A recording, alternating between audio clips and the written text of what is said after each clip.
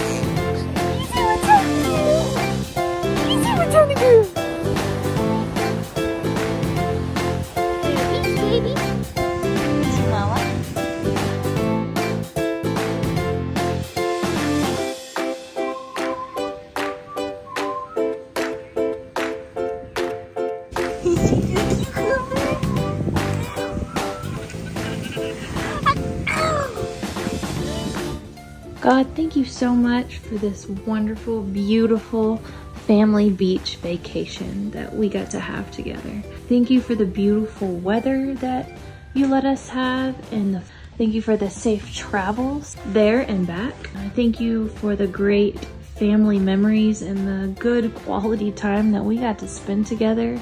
And I pray that these memories will be memories that our girls remember forever. Thank you for letting Eloise have a good first beach experience.